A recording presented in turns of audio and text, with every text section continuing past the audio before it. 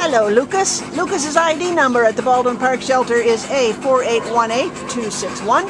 And Lucas is a four-year-old uh, Bull Mastiff mix. He's a big boy. He weighs 98 pounds. He's about four years old.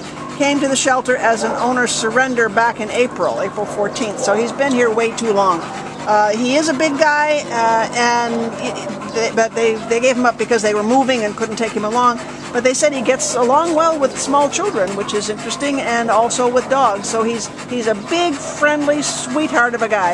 And he did pretty well in his temperament test, uh, although they did say that he could use some some additional obedience training. So they they maybe didn't train him up quite as much as he could use because of his size. You know, a dog like that's got to be really kind of well trained. So if you're a, a, person who can handle this kind of a breed, he's absolutely gorgeous dog and really, really a nice, uh, nice personality. And he could just use maybe a little bit more work to get his doggy citizenship skills up to par.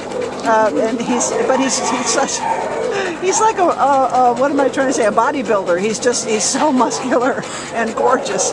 You are a pretty, pretty boy.